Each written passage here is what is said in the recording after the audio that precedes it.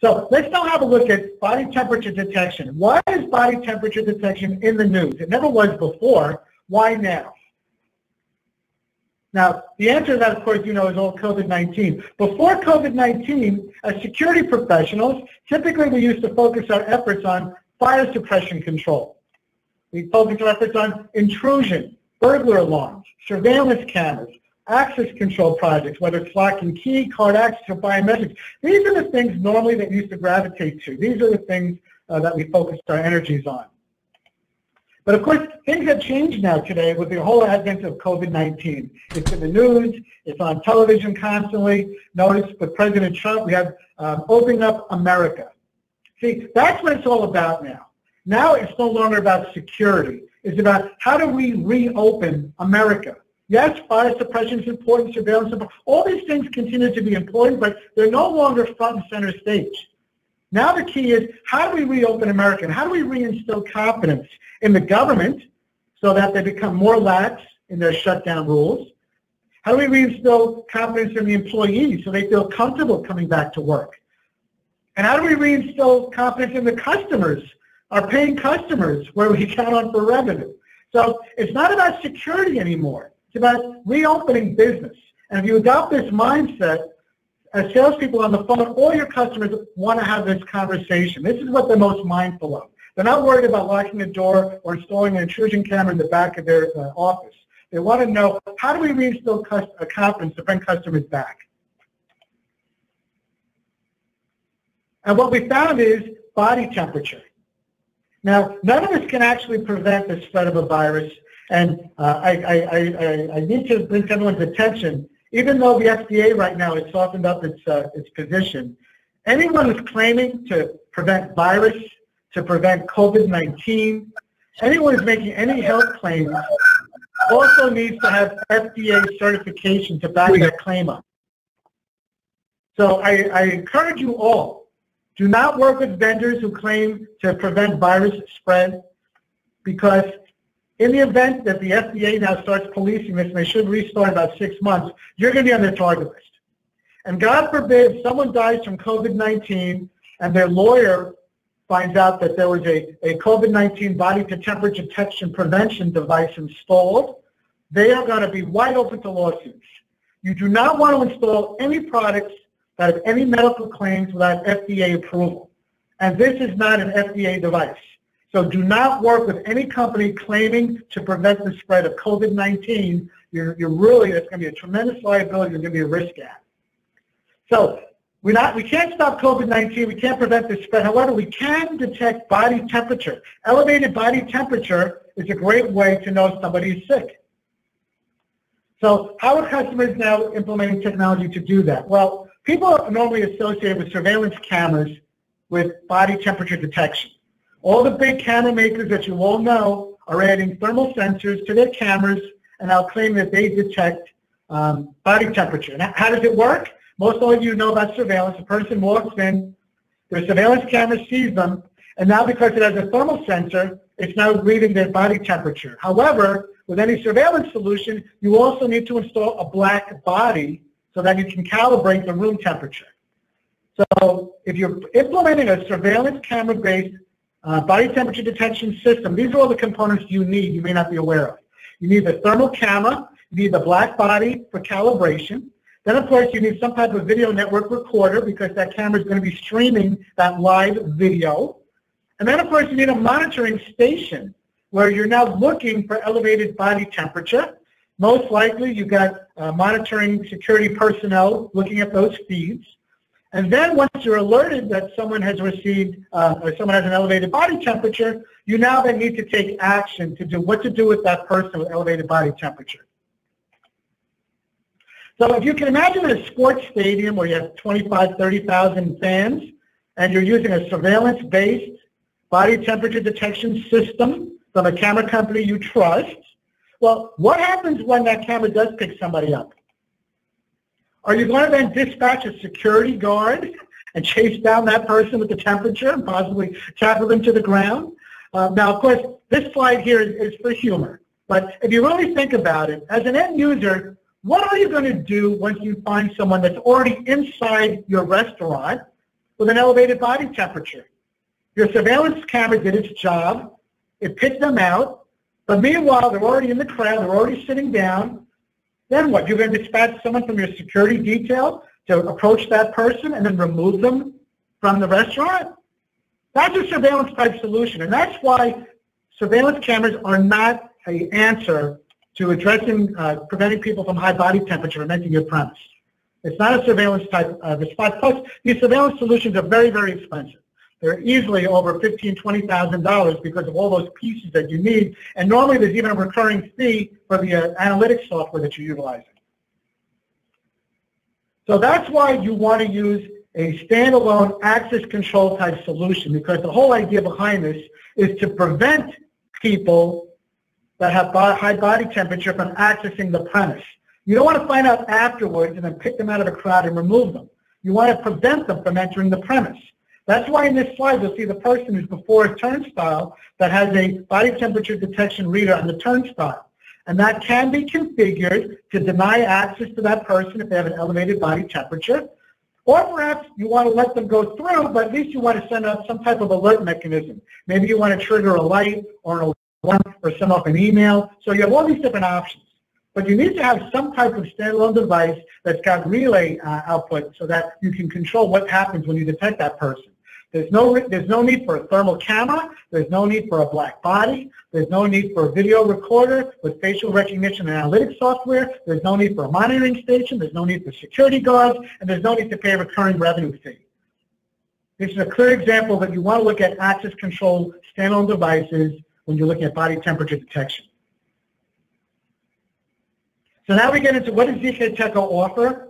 We have four readers now that incorporate our new visible light recognition technology, and then two of the four which have body temperature detection.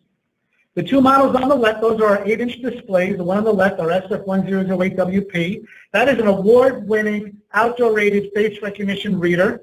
Granted, it does not have body temperature detection, but now we have very powerful outdoor face readers for access control. And then, of course, the SF1008 Plus takes all that technology, that face recognition capability, we've added a thermal sensor, and Esteban will be demonstrating that for you in a moment. And then we also have a 5-inch version of that, which is a little bit smaller, therefore a little bit less expensive. So let's now have a, a look at one of a 30-second video of how the technology works.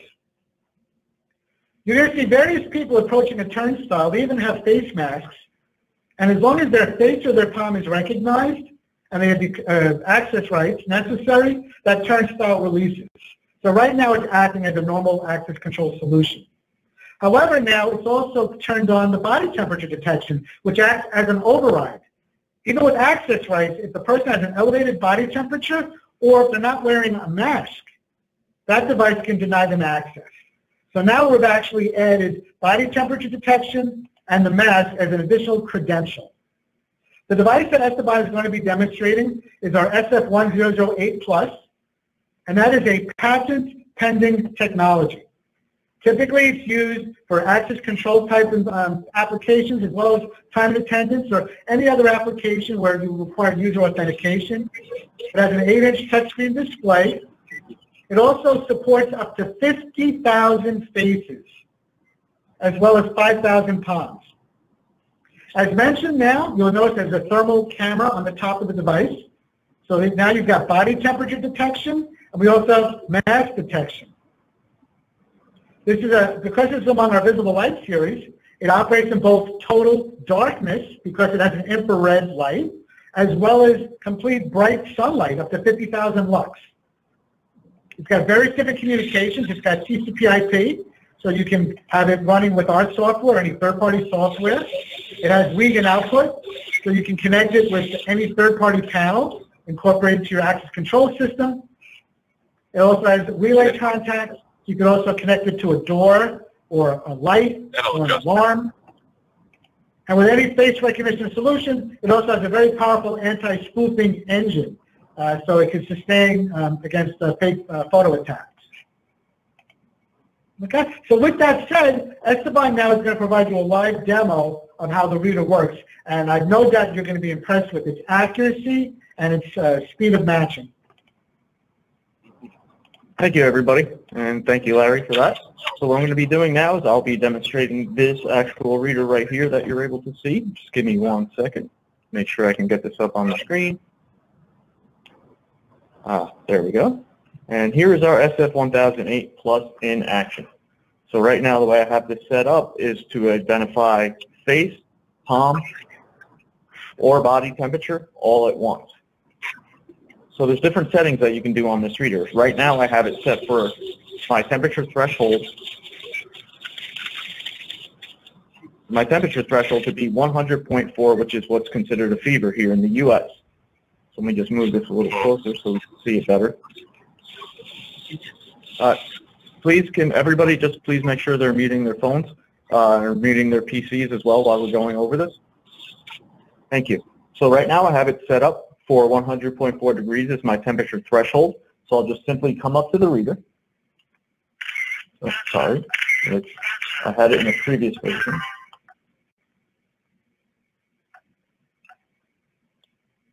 So now we can do this.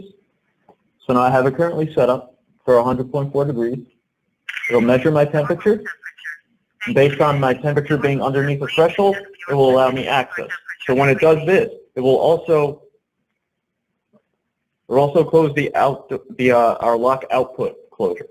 So if you have a lock connected to this, it'll open the lock. Or if you want to, just for visual purposes, you can uh, wire a green LED just so you can see its green means go, and that person is underneath the threshold.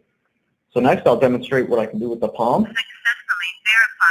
So as you can see, it verifies my palm, then asks for my temperature measurement.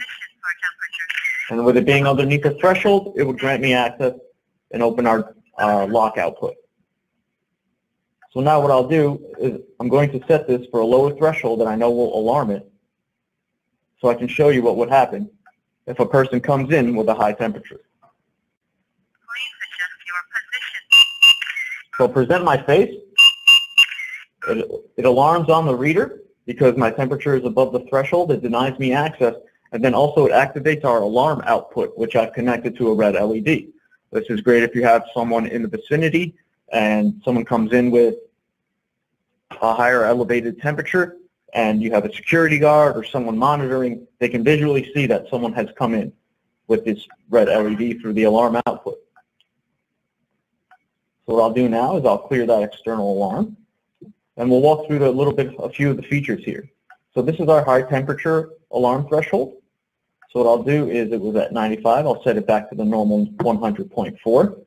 At any point, you can disable the temperature screening as well here. And you can decide whether if the person is over the range, whether their access denied or not. So here we can set our temperature units for Fahrenheit and centigrade. So this can be uh, utilized throughout the world. We also have our temperature measurement distance. Our farthest currently that the temperature screen, screening can pick up is 18 inches away. So that's the farthest a person can be away from the reader while getting an accurate uh, reading. So we also have close and near, which can do much shorter distances like 12 to 13 inches and 9 to 10 inches.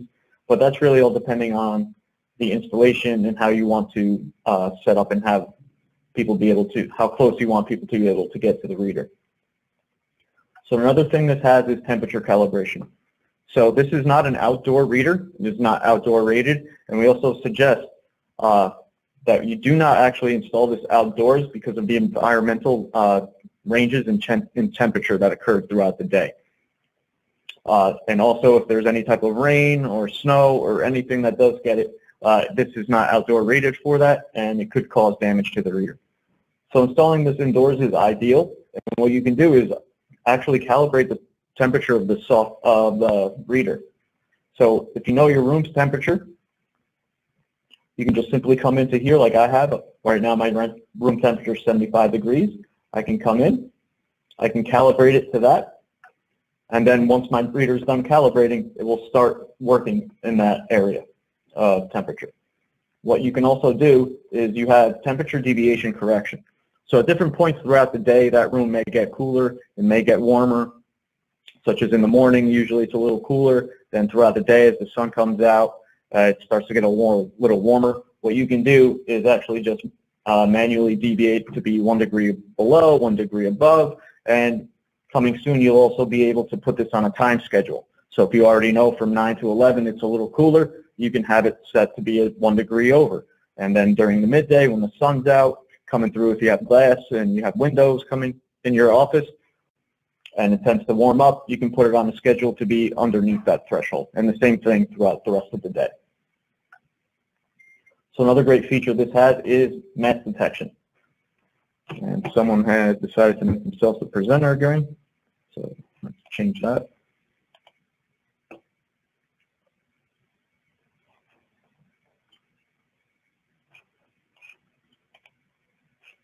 Okay, so now back where I was. So you can also enable mask detection on this. So this is, as most of you know, throughout the world, especially in the United States now, and especially in the Northeast, uh, it's been mandatory that anyone going out does wear masks. And this has already been in place for those working in uh, food processing plants, uh, restaurant workers in the kitchen. Also, if you have any type of manufacturing where workers come in contact with consumer products that you don't want any type of uh, uh, spread or anything like that. So they would already be coming in with masks. So this has mask detection on it. So I'm just going to throw on my mask right now. It is an N95 mask, if those of you are wondering. I would just come up to the reader, present myself. It'll detect my mask, and also based on my temperature, it will grant me access. So now I can demonstrate what would happen if I show up without my mask. So you can see it says without mask. Even though my temperature is below the threshold, I'm not following protocol by wearing my mask, so it's not going to allow me access, and it's also going to set the alarm output. So now I'll just put my mask back on. I'll come in. That deactivates my alarm, and I'm good to go. And I can go back to work now. So as Larry mentioned before in our slideshow presentation, we did have uh, previous versions of this that did not have uh, temperature screening. So this is just a quick example of the speed and accuracy of these readers if you were to use our non-temperature uh, version of these. So I'm just bring up my palm, and just like that, that quickly. Same with my face, that quickly. And without the temperature sensor uh, being used, you can read faces from up to 8 to 10 feet away. So, so I'm just going to set this back to our temperature uh, settings so we can continue on with the demo. So now what I'd like to show is our integration with our biosecurity software that we have.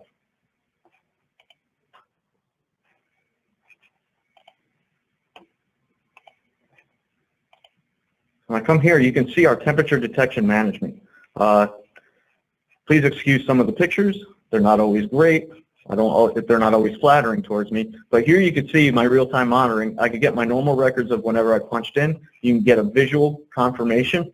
And also another question that's asked a lot is, is this only for registered people? So do they have to be registered in the software or register, have their face registered on the reader? No. This also does have the function that will allow anyone to walk up to the reader, have the temperature measured, and then based on whether it's over the threshold or below, it would alarm the output or open the lock output. That would be completely up to your using. And then also you can have the ability to take pictures of those, to have to take a screenshot of those people as they enter when they have high fever or at any time. So that way you can have a visual record. This is great for any type of auditing, reporting, and whatnot. So as far as this reporting, we can do a couple more things here. So you are able to also see a statistics panel here.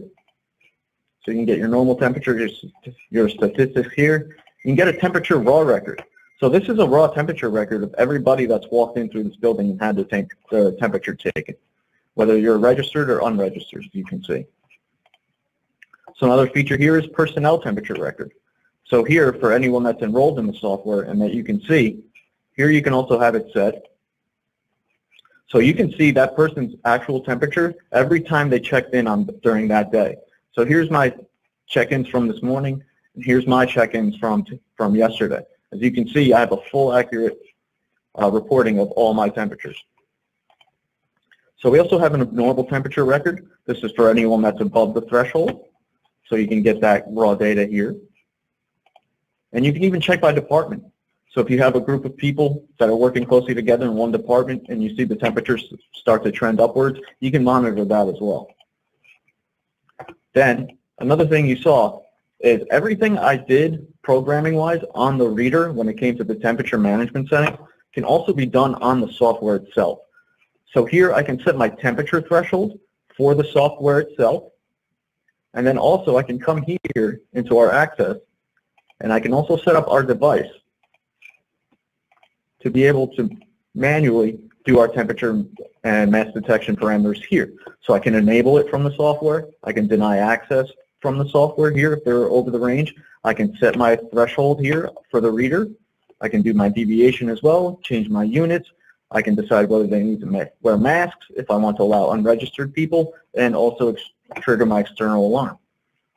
So another thing this does have the feature for is reporting outside of the software and at the reader. So if someone is coming in with a high temperature, you can also have this send out an email alert. And it's not just for high temperature. You can also have them, if they're not wearing their mask, that can also send out an email, an email alert through our linkages. So just like any other linkages or email alerts that we have, you can also set one for temperature as well as the not wearing a mask. So now what I'm going to do is, now that we've gone through the visual demo, is what I'm going to do now is, if I can get this up, is show you what's next.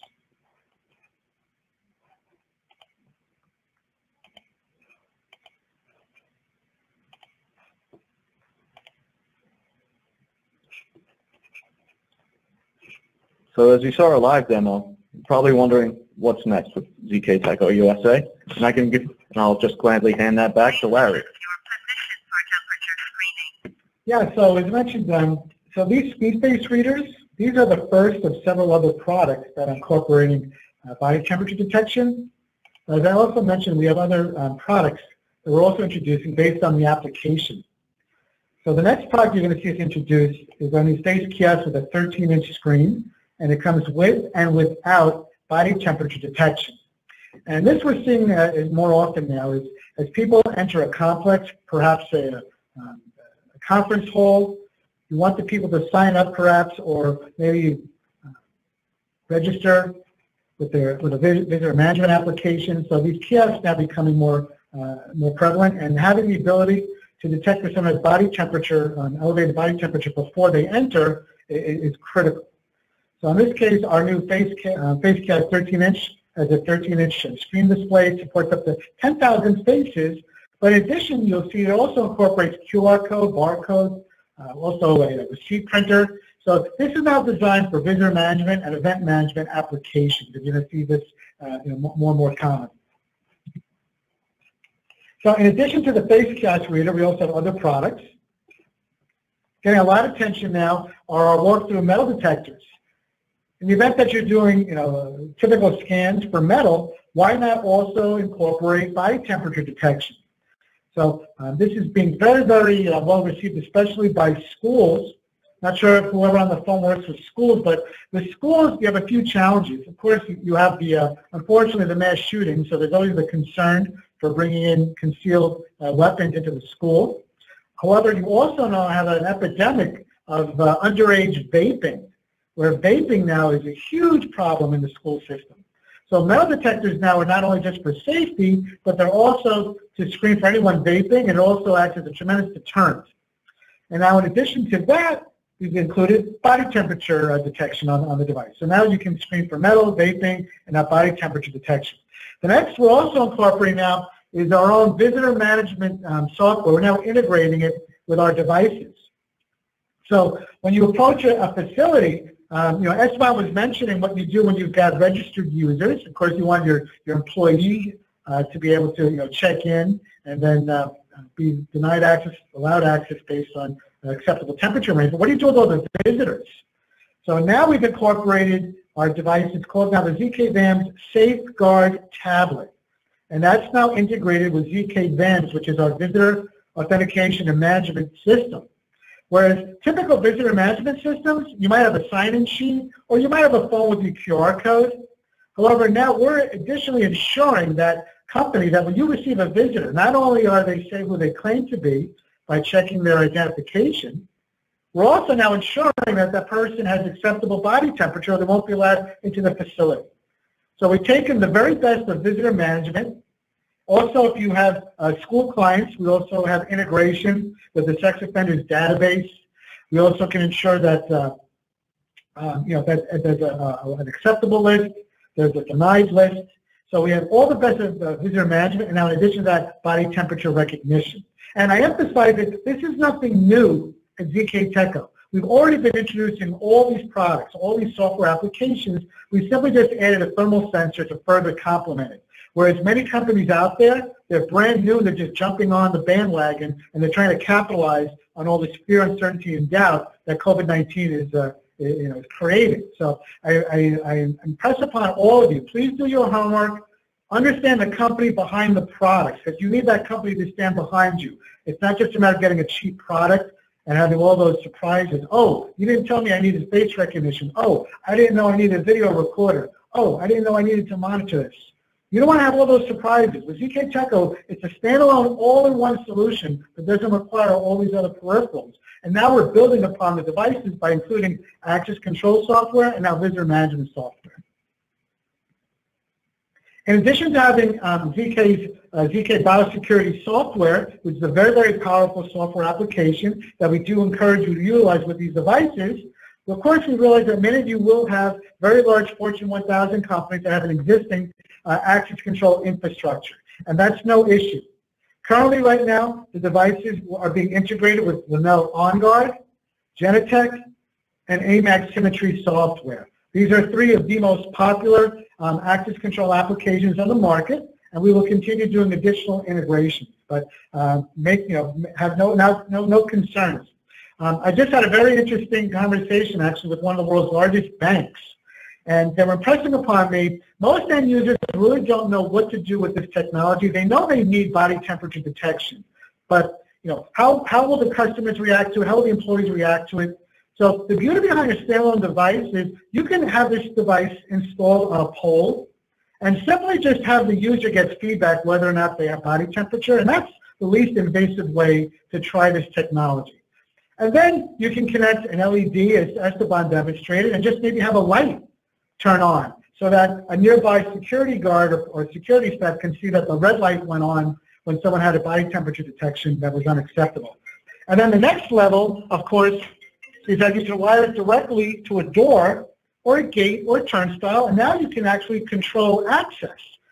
As you saw with Esteban's presentation, even though Esteban had access rights, the fact he was not wearing a mask and the fact that his body temperature is elevated was an override.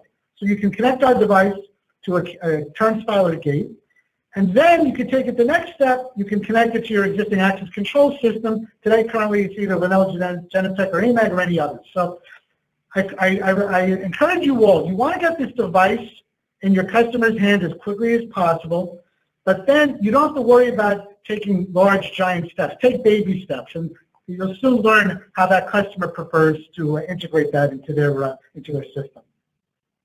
Last question we often receive is, you know, do they support OSDP? And uh, currently we are working on this. It should not uh, take that much time. I have every bit of confidence because other ZKTeco access control readers already have OSDP. Our panels already have OSDP. We are one of the original vendors working with the Security Industry Association, amongst others, that uh, to really, really promote the use of uh, OSDP. We've been working with um, HID and Mercury and many other leaders. So OSDP is definitely a, a direction that we're going to be uh, um, incorporating to all our devices, including the SpeedFace readers. So with that, um, I'd like to thank you all. I know we covered a lot of information. I think most importantly, bear in mind we know there's a lot of noise out there with body temperature detection, and there'll be a lot of vendors just racing to the market making all these crazy claims. Uh, I encourage you all, please research the company behind those devices. If any of those devices say that they prevent COVID-19, they prevent uh, the spread of infection, I assure you that the FDA, ISO, and many other governing bodies will be issuing fines and there will be lawsuits soon after that. Do not get involved with companies that claim medical benefits. This is not a medical device. I also encourage you to consider this is not a surveillance application. Finding out who has elevated body temperature after they've already breached your perimeter security and are already among the, the population, whether it's um, in a restaurant, a ball game, or in the office, surveillance is not the solution. This is an access control solution. And lastly, you don't necessarily need to tie down your doors if someone doesn't have elevated body temperature. You can simply put it on a stand and let the people self-regulate themselves, then take it to the next level where elevated body temperature triggers an alert, then later perhaps wire it to the turnstile or door, and then ultimately tie it into your back-end access control system. So with that, um, Savannah and I, we conclude this part of the presentation. Uh, we're open to questions. Uh, I don't know if we can manage this with 200 people on the line, but we'll do our best. Okay, so I'm just going to go through the questions in the chat. I think that'll be easier so we don't have everybody just kind of talking over each other. So I'm just going to run through, take a look at some of these questions, and I'll be able to uh, kind of answer correctly what, uh, sorry, answer what uh, is relevant here. So I see one, uh, putting your palm up to the device is only for temperature reading, or is there another function? Right now, it's just palm uh, verification, palm recognition. We are looking into integrating palm temperature, but right now the temperature is taken from points in the forehead as well as the eye and tear, uh, tear ducts. Is the body temperature alerted in the uh, alert email? No, we do not. Uh, we do not send out what that person's temperature is. That will be in the software itself for the reporting, for someone can follow up on that. This just solely sends a notification that there was uh, an alert.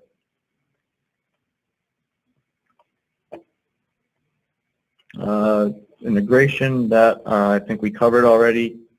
Is this device connected to the network for administration or is it locally programmed? It can be done both. So this is a standalone reader or it can be networked back to our software. Can the facial palm templates be shared between devices? Yes, when connected to our software, you can manage all your personnel and which devices and templates they're allowed to, uh, can be pushed out to it. Can the temp setting be set remotely? Yes, it can be done through the software. Uh, since you are adding some features later, will software upgrades be available if sold before a feature is added? Uh, yes, upgrades and firmware upgrades will be free. Uh, are the walk-through metal detectors TSA approved? No, they are currently not. Lead time on these devices, uh, please contact your our MRs, our reps and salesmen throughout the country uh, for anything, but right now we're looking at about six weeks.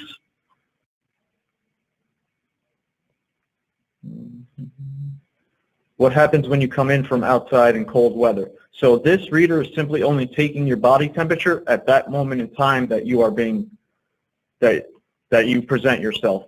So in order to work with that, you can do your temperature deviations to be a little cooler or a little warmer. And also we suggest uh, different, depending on where you are, you would need to adjust for that. Uh, what is the enrollment process? You can be enrolled on the software or at the reader itself. Or if you need to, you can also do, um, you can enroll using our biosecurity mobile app, which has a link, and you can enroll the face, which would then send out to our software. Uh, what version of software is this? This is V5000. This is currently not on the website. We're still doing some